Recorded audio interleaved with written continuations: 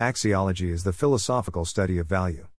It includes questions about the nature and classification of values and about what kinds of things have value. It is intimately connected with various other philosophical fields that crucially depend on the notion of value, like ethics, aesthetics, or philosophy of religion. It is also closely related to value theory and metaethics. The term was first used by Paul Lapie in 1902 and Eduard von Hartmann in 1908. The distinction between intrinsic and extrinsic value is central to axiology. One conceptualization holds that something is intrinsically valuable if it is good in itself or good for its own sake. It is usually held that intrinsic value depends on certain features of the valuable entity. For example, an experience may be said to be intrinsically valuable in virtue of being pleasurable. Extrinsic value, by contrast, is ascribed to things that are valuable only as a means to something else. Substantive theories of value try to determine which entities have intrinsic value. Monist theories hold that there is only one type of intrinsic value. The paradigm example of monist theories is hedonism, the thesis that only pleasure has intrinsic value. Pluralist theories, on the other hand, contend that there are various different types of intrinsic value, for example, virtue, knowledge, friendship, etc. Value pluralists face the problem of explaining whether or how the different types of value can be compared when making rational decisions. Some philosophers state that values do not exist on the most fundamental level of reality. One such view holds that a value statement about something just expresses the speaker's approval or disapproval of this thing. This position is opposed by realists about value. Between the 5th and 6th centuries BC, it was important in Greece to be knowledgeable if you were to be successful. Philosophers began to recognize that differences existed between the laws and morality of society. Socrates believed that knowledge had a vital connection to virtue, making morality and democracy closely intertwined. Socrates' student, Plato furthered the belief by establishing virtues which should be followed by all. E. J. Dijksterhuis found that axiological antithesis characterized the philosophy of ancient Greece, typical Greek habit of thinking in axiological antitheses. Of always wanting to decide which of two comparable activities, properties, or qualities is the higher, the better, the nobler, or the more perfect. The Pythagoreans set the finite above the infinite, the odd above the even, the square above the rectangular, the male above the female. Plato never tires of arguing how much superior ideas are to appearance. Aristotle contrasts the imperfection of the sublunary sphere with the perfection of the celestial sphere. Thus, uniform motion is also superior to non uniform motion. A regular polyhedron is of greater value than any other polyhedron but is itself surpassed by the sphere. With the fall of the government, values became individual, causing skeptic schools of thought to flourish, ultimately shaping an ontologically objective philosophy that is thought to have contributed to Christian philosophy. During the medieval period, Thomas Aquinas made the distinction between natural and supernatural virtues. This concept led philosophers to distinguish between judgments based on fact and judgments based on values, creating the division between science and philosophy. Traditionally, philosophers held that an entity has intrinsic value if it is good in itself or good for its own sake. Intrinsic value is contrasted with extrinsic or instrumental value, which is ascribed to things that are valuable only as a means to something else.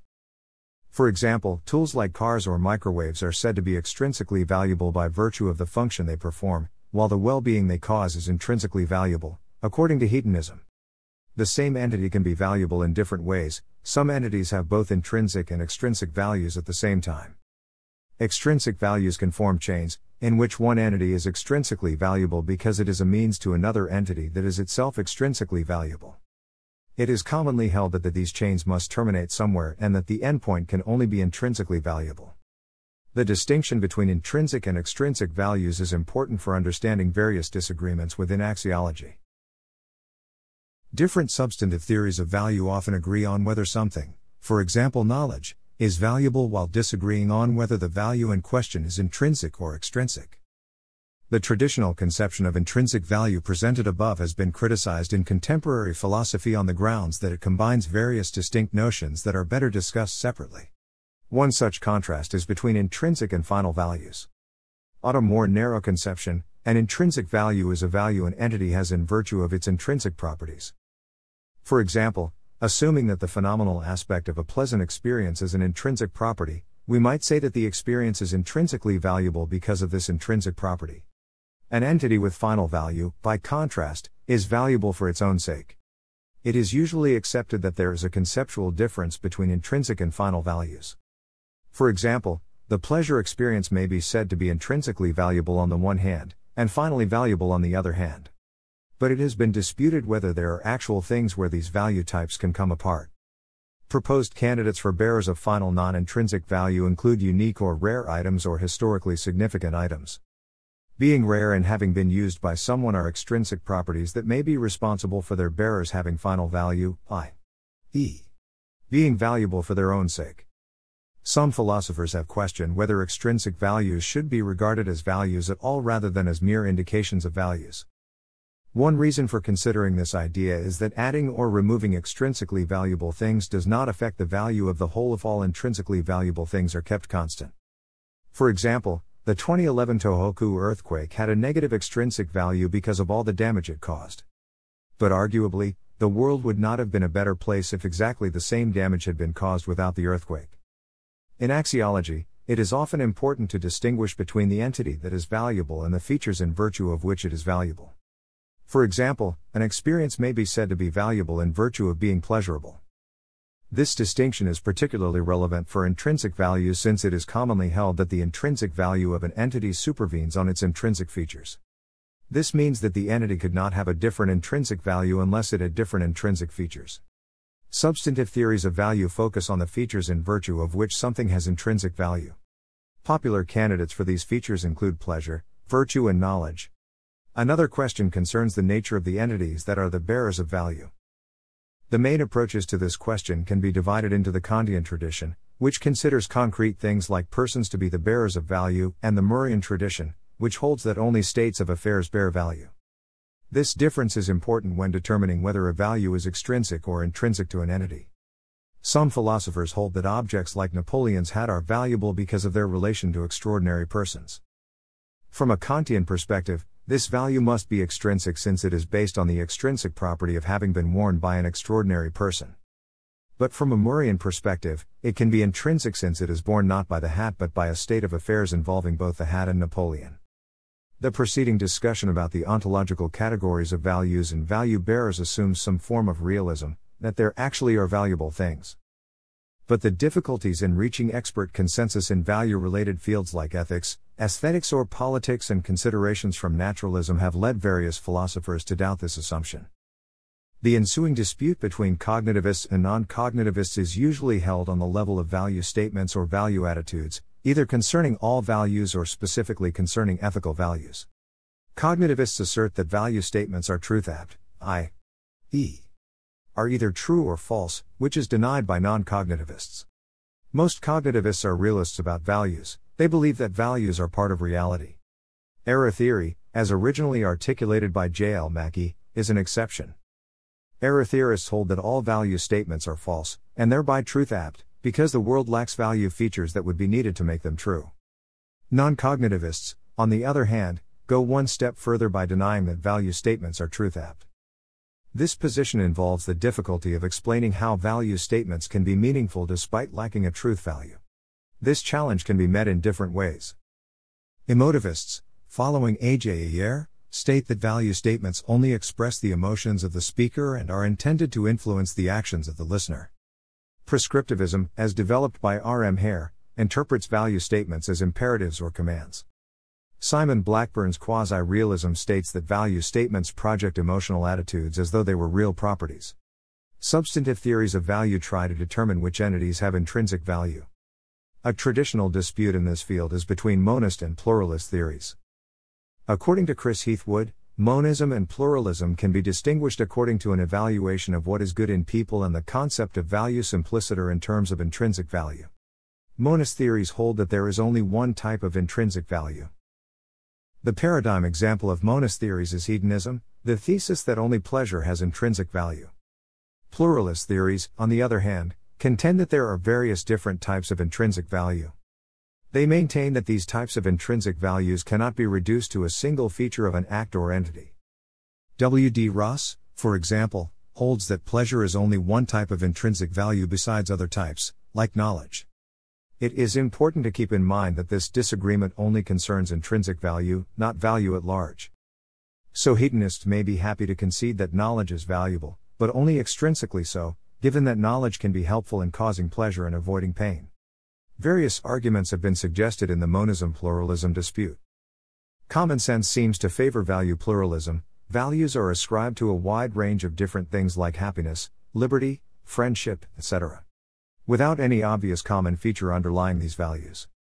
One way to defend value monism is to cast doubt on the reliability of common sense for technical matters like the distinction between intrinsic and extrinsic value. This strategy is pursued by J.J.C. Smart, who holds that there is a psychological bias to mistake stable extrinsic values for intrinsic values. Value pluralists have often attempted to provide exhaustive lists of all value types, but different theorists have suggested very different lists. These lists seem to constitute arbitrary selections unless a clear criterion could be provided why all and only these items are included. But if a criterion was to be found, then such a theory would no longer be pluralistic. This dilemma suggests that pluralism is inadequate as an explanation. One issue closely related to the monism pluralism debate is the problem of incommensurability, the question of whether there are incommensurable values. Two values are incommensurable if there is no fact as to whether one is better than or as good as the other, there is no common value scale according to which they could be compared. According to Joseph Raz, career choices between very different paths, for example, whether to become a lawyer or a clarinetist, are cases where incommensurable values are involved. Value pluralists often assert that values belonging to different types are incommensurable with each other. Value monists, by contrast, usually deny that there are incommensurable values. This question is particularly relevant for ethics. If different options available to the agent embody incommensurable values, then there seems to be no rational way to determine what ought to be done since there is no matter of fact as to which option is better. Widespread incommensurability would threaten to undermine the practical relevance of ethics and rational choice. Many evaluative terms are found in everyday language, often with various different meanings. It is important for philosophers to distinguish these different meanings in order to avoid misunderstandings. One such distinction is between a predicative and an attributive sense of good and bad. In the attributive sense, an entity is good in relation to a certain kind. For example, a person with a clear voice may be a good singer, or a knife with a blunt edge may be a bad knife. But this still leaves it open whether the entity in question is good or bad in an unqualified or predicative sense. For example, a person may be a bad assassin, but being bad as an assassin is not bad in a predicative sense. Axiology is usually interested in the predicative sense of goodness. But some philosophers deny that such a sense exists and therefore hold that all value is relative to a kind. A second important distinction is that between being good for a person and being good for the world. Being good for a person or prudential value has to do with this person's welfare or well being. But what is good for one person may be bad for another person. For example, having a dry summer may be good for the hiker in virtue of the pleasant hiking conditions, but bad for the farmer whose crop is dying because of a lack of water. In such cases, the question arises as to what is good for the world or good simpliciter. Utilitarians can solve this problem by defining the good for the world as the sum of the good for each person's. Philosophers often distinguish between evaluative concepts and deontic concepts. The former belong to axiology proper and express what has worth or value, while the latter belong to ethics and express what one ought to do. Philosophers have tried to provide a unified account of these two fields since they seem to be intimately related. Consequentialists see evaluative concepts as fundamental and define deontic concepts in terms of evaluative concepts. Fitting attitude theories, on the other hand, try to reduce evaluative concepts to deontic concepts. Consequentialism is an ethical theory that holds that, given a certain set of possible actions, we ought to perform the action that has the best overall consequences. So, what we ought to do is defined in evaluative terms, whatever leads to the consequences with the highest value. Fitting attitude theories are axiological theories that define the value of something in terms of the attitude that would be fitting to have towards this thing. For example, that it would be good to find a cure for cancer because this would be a fitting object of desire. These accounts build on the deontic notion that some of our attitudes towards the world are fitting or right to define what is good. Thanks for watching.